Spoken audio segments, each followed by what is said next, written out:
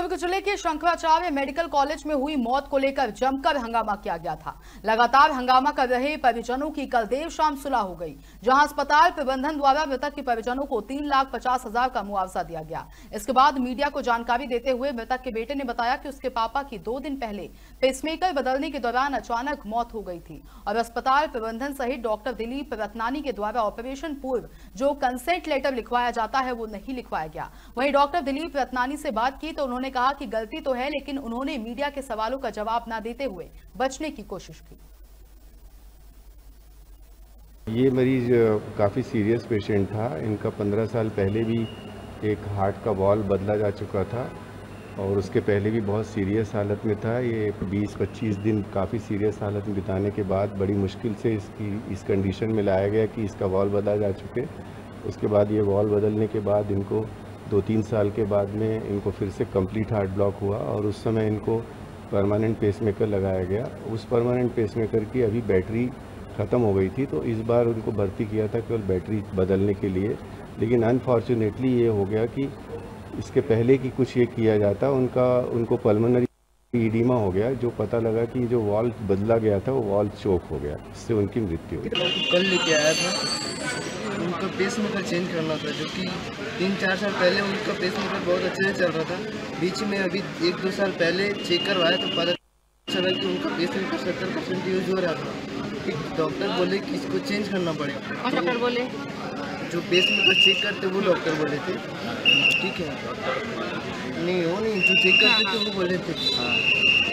तो फिर उसी समय दो साल पहले हम डॉक्टर से बात की कि अभी चेंज हो सकता है तो बोले नहीं अभी करवाओगे तो ज़्यादा खर्चा लगेगा टाइम पे करवाओगे तो कम खर्चा लगेगा तो हम लोग बोले ठीक है बाद में कराएँगे कम खर्चा लगेगा करके ठीक ठाक सब चल चल रहा था। तो हम टाइम पे आए थे कल भर्ती कराया उनको सब। नॉर्मल आए थे आप लोग नॉर्मल कुछ यहाँ डॉक्टर रत्नानी के पास दिलीप रत्नानी उन्होंने बोला कि उन्होंने बताया कि जैसे भर्ती करना है उनको तो पेस मेकर चेंज करने के लिए भर्ती करना था तो एक महीना पहले उनके पास हम लोग आए थे तो उन्होंने बताया कि सत्ताईस तारीख का डेट दिया था इस डेट को आना और कुछ दवाई था उसको बंद करवाए थे तीन दिन पहले उसको बंद करके आने के लिए जो ब्लड को पतला करता है उसको बंद करवा के आने के लिए बोले थे।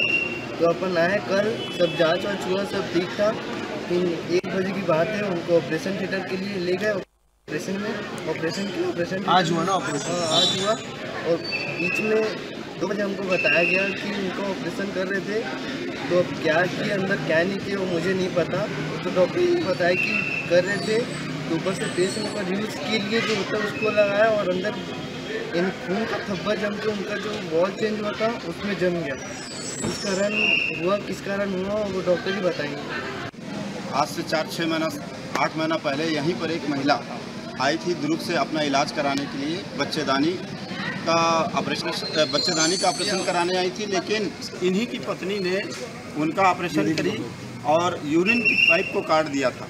तो वो लापरवाही से आज भी वो औरत जो है नर की जीवन जी रही है, लेकिन यहाँ का शासन प्रशासन नहीं जागा। और आज भी इसी तरीके की घटना हुई है और ये घटना ये है कि परिवार वालों से न कोई सिग्नेचर लिया गया। इतना बड़ा ऑपरेशन है, जबकि डॉक्टर पहले लेते हैं कि भाई, आप ऑपरेशन करने जा रहे हैं तो अगर कुछ हो गया तो कुछ उसकी जिम्मेदार कौन होगा?